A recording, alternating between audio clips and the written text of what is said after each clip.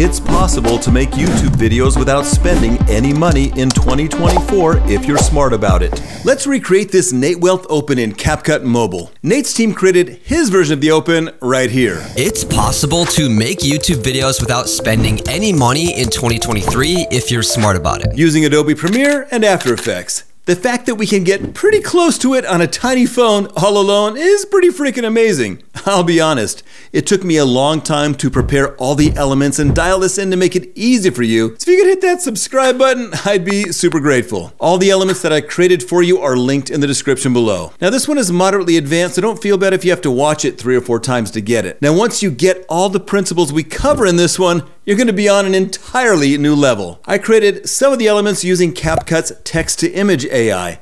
I tried first in three other AIs to create this laptop with cash on both sides. I wanted the laptop facing the screen so I could easily do what Nate did in his video, but LensGo AI did this, Photoshop failed me with this, and Midjourney failed with this. CapCut's AI won with this image. I'm using a mouse so you can see it here on my screen, and I've got my iPhone right here so I can see it. My eyes are fried from doing this all day, but we're just gonna create a brand new project, and I'm gonna go up over here where it says recents and scroll down to the folder I created that has all of the elements that you can download for free.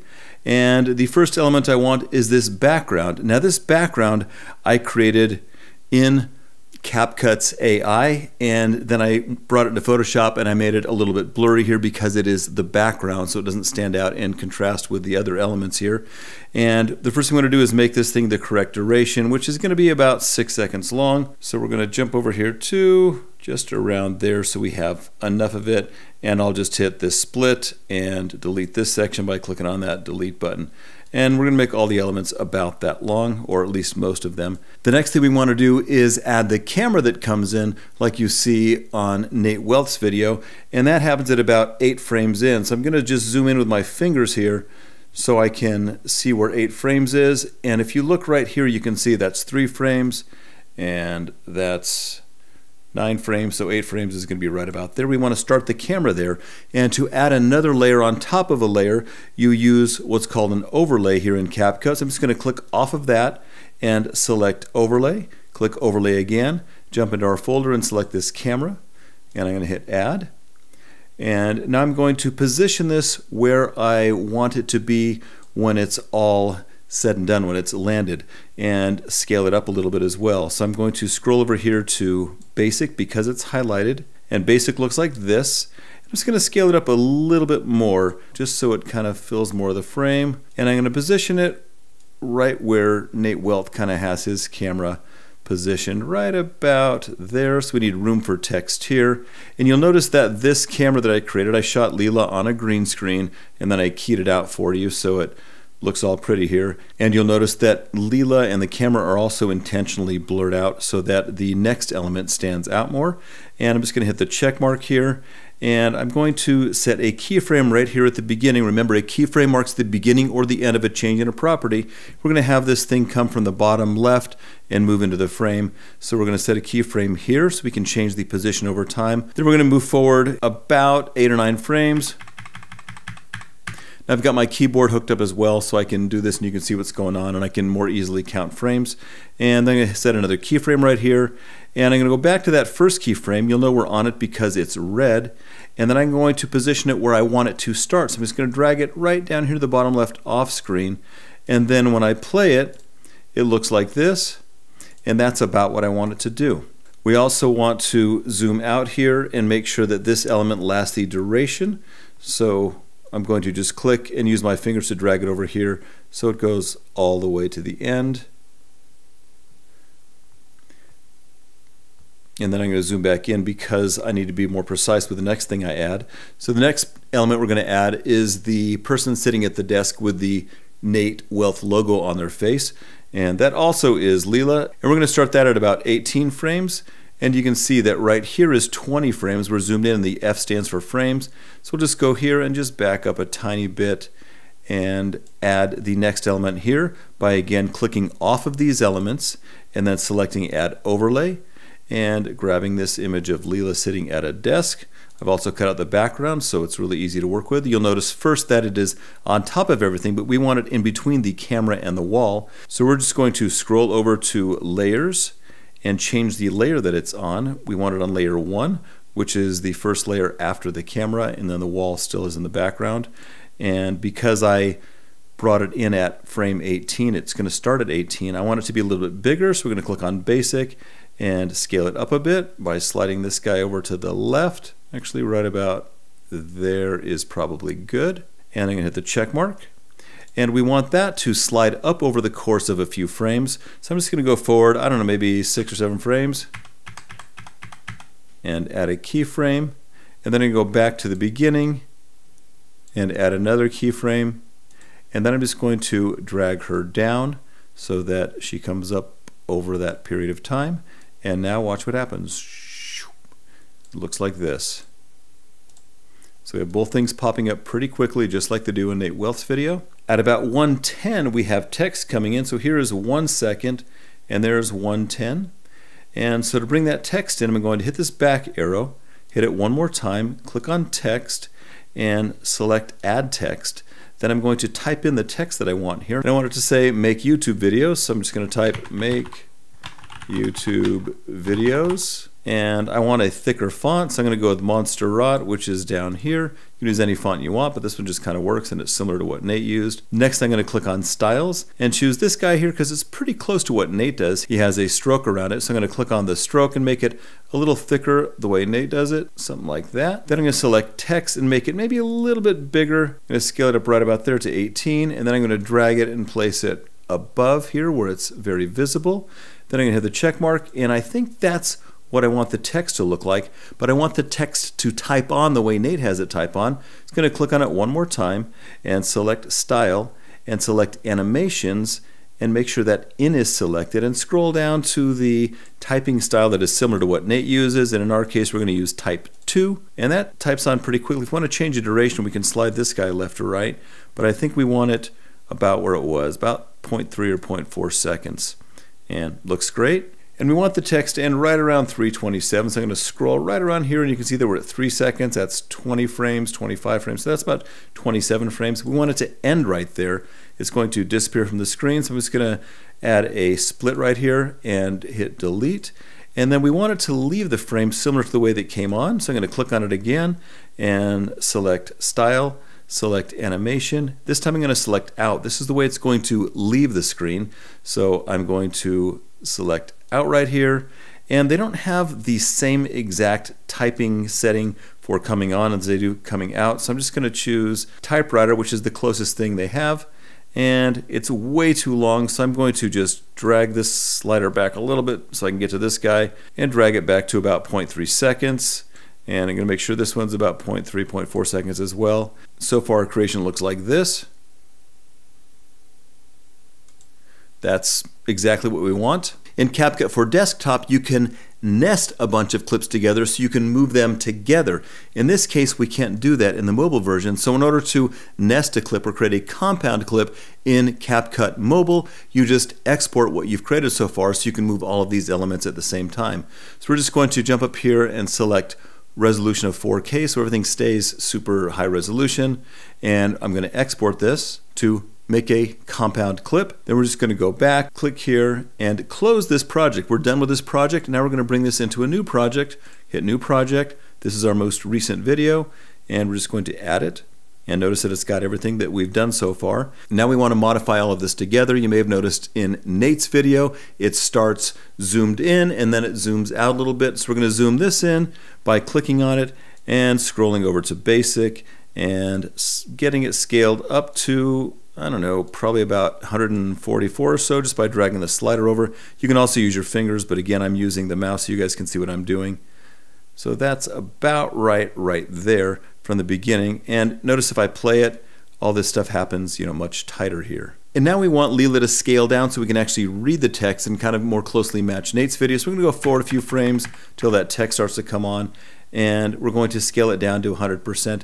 Now I could click the keyframe and then adjust scale, but because I have one keyframe set, if I just click on basic and I start dragging this to 100, look what it did. It automatically added a keyframe, which is kind of good to know. And we want to go this way actually to 100. Bam, it locked in. And now that would look like this. So as it's scaling down, you see the text being written on. That's about perfect. Next, we want to add that laptop on the desk with the piles of cash on the side, and that starts at about 217. You can see right here that we're at about almost at 215. So just go forward to about 217 right there. And I'm going to go ahead and click off of this so I can add another overlay. It's going to go on top of this. Click overlay and click overlay again. And we're just going to go ahead and jump back into our folder down here, our Nate 2 folder, because this is my second Nate Wealth video. Click on Photos, and here is that laptop on the desk that I created, and I put a hole in the middle so we can see what's going on there. Now we're going to have these scale down together, but first let's get this up to the right size. So we're just going to slide over here and go to Basic and scale this guy up to 100%, and you already know how to do that locks in at 100. I'm to hit the check mark right here. What I want to happen is have this laptop appear big and then scale down and have Leela in the background scale with it. So we're going to set keyframes for both of these right here, right when this laptop comes in. So I'm going to click here and set a keyframe, and I'm going to click here on Leela and set another keyframe. Now I'm to go back on this laptop and I'm going to scale it way up until we can't see it anymore. So I'm just going to slide over here to scale and scale it way up to probably about 265 should do the trick right about there. You can start to see it come in. That'll be the first frame of it coming in. And then over the course of about six frames, it's going to land. So I'm going to go forward six frames. And I'm going to have the laptop scale down to 100%. It's going to go back this way and have it go to 100%. And I'm going to click the check mark because we're good with the laptop. Now the laptop is scaling down, but Leela's not yet. We wanted to create the illusion that Leela was in the laptop the whole time, that all this is happening in the screen. Now normally in a program like CapCut PC, we would have nested these two together and scaled them down together. And we could kind of mess with this and export, but it would lose resolution. You know, in After Effects or Premiere, you just kind of nest them, but here we just kind of have to kind of cheat it a little bit. So we've got the laptop scaling down, but to make Leela scale down, we're just going to make sure we're positioned on that keyframe and go ahead and select basic again and then scale her down right there. So somewhere around there will probably work. And we're gonna hit the check mark and let's see what that looks like. Yeah, that's kind of a good fake job, I think. So, so far, if I click off of it so the white lines go away, we get this. Those pop on, that pops down, and then that wipes off. So that's just about perfect so far. And here at about three seconds, we have some text pop on. So to add some additional text, we're just going to click this back arrow, select text, and select add text. And we're going to go ahead and type our text in right here. We can actually choose our font first if we want. Doesn't matter, you do it before or after. Let's choose Montserrat. Seems to be a popular font. And then in the text bar, we type any money, which is what Nate had there. And then we're just going to go over here to styles and choose this first guy. It adds that stroke around it. We're going to click on stroke and make it a little thicker like Nate's. Then we're going to position it over the top here and make it maybe a little bit bigger by clicking on text and scaling it up a tiny bit like that. And hit the check mark. Now this text is going to stay here for the entire time, so we're just going to go ahead and drag it out so it lasts the entire duration of this clip.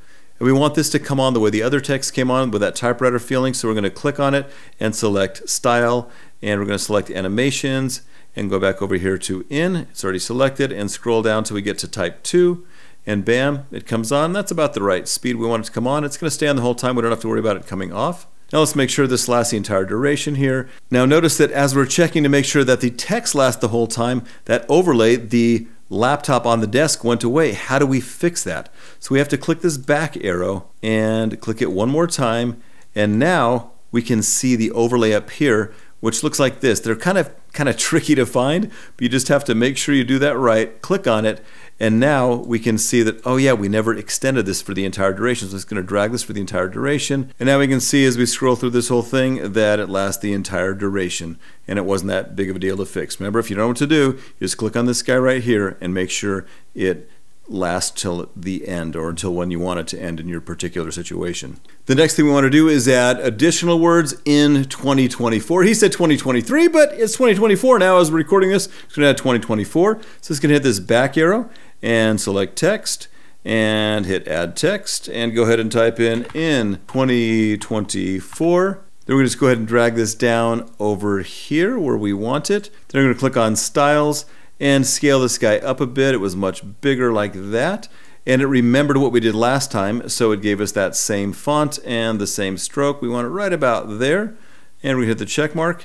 And now we just need to add that animation to this guy so it types on just like everything else. So we click on Style and click on Animations and click on In and it's already selected and we just scroll down to Type 2 and it types on just like everything else does and that's about the right duration for that guy. So, so far we have this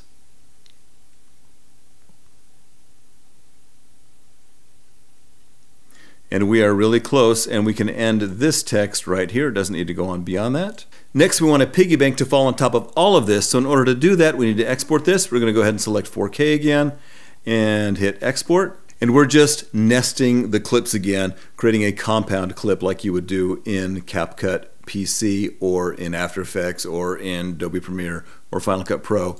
And we're going to go ahead and close out this project, create a new project, and just import that latest version. You see we've got everything here and now we want to just add the piggy bank. We want the piggy bank to start at about 408. So I'm going to zoom in right here and go to 408 right about there. What I'm going to do, I'm going to add an overlay. To add an overlay, I'm just going to click on overlay here on the bottom, click add overlay, jump into my Nate Wealth folder right here, grab this piggy bank under photos that I created, where? In CapCut with its AI drop it there. I want it to be a little bigger, so I'm just going to scroll over here and hit basic, hit scale, and scale it up just a little bit. Because I want it to be big and obnoxious on this desk. And I'm going to position it where I want it to land right here. And that looks pretty good right there. I'm going to hit the check mark. And I want that thing to fall over time, over the course of, I don't know, maybe seven or eight frames, have it fall out of the sky there. So I'm going to click here, set a keyframe, go forward a few frames, set another keyframe, go back to that first one and drag that little piggy bank up into the sky like that. And then it'll just fall down, bam, and block everything else. And next we need the text smart about it to appear, and that appears at about 505. So we're going to jump over here to 505. We're going to add some text again. You know what to do. Go back, hit text, hit add text, go ahead and type in go ahead and type in smart about it and because we created a new project it forgot what we did last time but we can scroll down here and just quickly hit Montserrat hit OK then we can go to styles and click this first guy again click on stroke and just make that stroke a little bit bigger again so it's readable just like his are and hit the check mark and we want that to come in just like all the other ones. So we'll hit style again. I should have just stayed there. Click animations, go to in. And you know, I'm doing this a bunch of times instead of just like fast forwarding through it. So you can practice doing this with me. Hit the check mark. We've got type 2 again. And have a look. It types on just like the other ones. And now we want to delete it right there because we don't want it to drag on past everything. We hit split and then we just hit the trash can. Now that's the text we want, but this time the text slid up from the bottom. So we're just going to click on it, set a keyframe, go forward a few frames, set another keyframe, go back to that first keyframe and drag this text down. And so now the text pops up like it does in Nate's video. And it lasts for the entire duration, but not too long. So we're going to click here, split it, and then delete the end there. And we are getting really close. But there's one other kind of fancy thing he did in the beginning. He had the black bars open partially and then open the rest of the way to reveal kind of a cinematic look and then they opened up all the way. So let's go ahead and do that real quick. Now because this is already an exported clip and we have all these motion layers together, we don't need to export this again. So we're just going to go to the first frame. We're going to scroll down here until we see the word mask, which is right over here. We're going to select rectangle, select adjust, and then for the length, we want the length to go to zero, so it starts at zero, so you can't see anything. We want the width to go all the way across, so we're just going to use our finger to swipe all the way over to 999. And we're going to set a keyframe for that. And then at about 13 frames in or so, which is right about here, we're going to open up the vertical aspect. So we're just going to click on this guy and drag it up to about 700. So it opens up partially, but not all the way. So it looks like you know cinematic bars like from a movie theater with a wider aspect ratio. And around here looks pretty good. About that point looks great. We have a keyframe there. And then next we want to move over to around a second, maybe a little after a second right here. And we're going to set another keyframe right here so that it stays consistent. So between keyframes it's not going to move if we set another keyframe here. So like there's another keyframe. Notice that the mask is not moving in between these two keyframes. And then over the course of another few frames, we want it to open up the rest of the way. So maybe at about 109 or so, I'll have it open up the rest of the way. So I'm just going to take this guy, this length that's at 700 and use my finger to swipe it all the way over to 999 and bam it opens up the rest of the way and now we're getting we're getting pretty close we've got this thing open up. These guys are popping up. We've got text popping on. We've got this computer screen showing up. More text and the pig. I mean this is this is pretty fancy stuff for a free mobile editing program. None of these are professional features the from the pro version. This is all the free stuff, guys. So pretty crazy you can do this. Now I'm just going to add some little music, sound effects, and voiceover and show you the finished product in T minus one second. There are a few more things that we could have done to make it look closer to what Nate did in his video, but I didn't want to overwhelm you with too much. This gets it pretty close. I added a couple sound effects and some music and the voiceover, and we get this. It's possible to make YouTube videos without spending any money in 2024 if you're smart about it.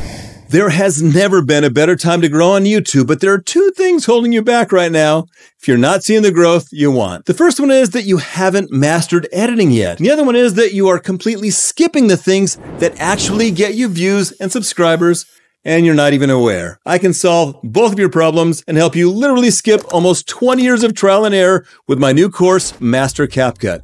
In my course, I teach you everything you need to know about CapCut, getting you on the path to becoming an editing wizard. You're a wizard, Harry. Imagine being able to figure out on your own what I shared with you in this video. Secondly, in section two of my course, I teach you how I went from this this is day one when I started this YouTube channel, April 21, 2018, and about 200 videos later, I started doing this. And this is only a few months ago, so I am new. If you're new, like I just started implementing the things I teach you in section two.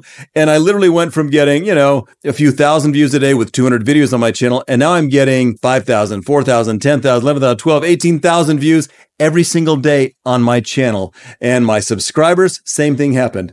Remember the beginning right here? Months and months for actually for years I was getting nothing. Then I started implementing the things I teach you in section two of my course and bam, now I'm getting hundreds of subscribers every day. And this is live stuff. I'm not, I've got nothing to hide from you. Here is the last 28 days you get a better take on it, where I'm getting 286, 367. It just keeps going up and up because of the things I teach you in section two of my course. I guarantee you can do exactly the same thing or you get all your money back, no questions asked. If you want results like I'm getting right now on YouTube, please go to mastercapcut.com or click on the link in the description below right now. Since you're still watching this video, I'm guessing you are above average, so the odds of you blowing up on YouTube are probably quite high. As you probably know, you need a thousand subscribers to get monetized on YouTube, so this is the perfect opportunity for you to make more money from YouTube and set yourself up to become a full-time YouTuber. Doesn't matter what your background or niche is, what I share with you works in every niche faster than anything I've ever seen. I can't wait to see you crush YouTube and make your goals of YouTube success come true. So please go to the link in the description below or click right here and sign up right now. You quite literally have absolutely nothing to lose. You will become an editing wizard and your channel will grow or you get your money back. If that doesn't interest you, please watch this video because YouTube knows that's what you're looking for.